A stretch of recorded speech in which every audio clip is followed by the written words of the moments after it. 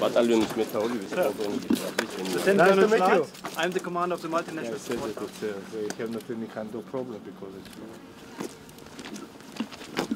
I'm sir. nice to meet Pleasure to you. have you here. Please. გამარჯობათ მებრძოლებო.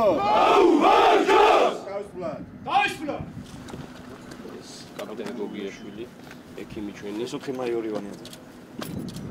მეორე რაც მინდოდა მეთქვა, იცით?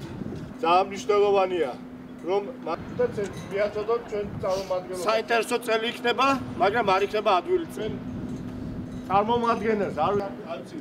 ყველა ჩემი მაზარსა შარიფში ჩვენი გაძლიერებული ასეული ასრულებს ერთ-ერთ მნიშვნელოვან ფუნქციას მათ ამოცანაში შედის უზრუნველყოფა უსაფრთხოების და სწრაფი რეაგირების ამოცანების შესრულება.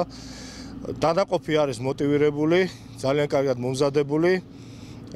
შეიძლება ითქვას, რომ ერთ-ერთი საუკეთესო ჩვენ შეაღებულ ძალებში, რაცაც აღნიშნავენ უცხოელი პარტნიორებიც, რაც კიდევ ერთხელ აღინიშნა დღეს ამ ბაზის ხელმძღვანელთან გერმანელ გენერალთა შეხვედრისას ძალიან დიდი იმედი გვაქვს რომ ყველაფერი წარმატებით და წარმატებით დასრულდება დანაყოფი შეასრულებს თავის სამოცანას წარმატებით და ასევე წარმატებით დაგვუნდება ჯანმრთელები და დანაკარგის გარეშე. დღეს ჩვენთან ვიზიტით ბაზა მარმალზე ქართული სწრაფი რეაგირების ასეულთან იმყოფებოდა გენერალური შტაბის უფროსი გენერალ-მაიორი ვახტანგ კაპანაძე.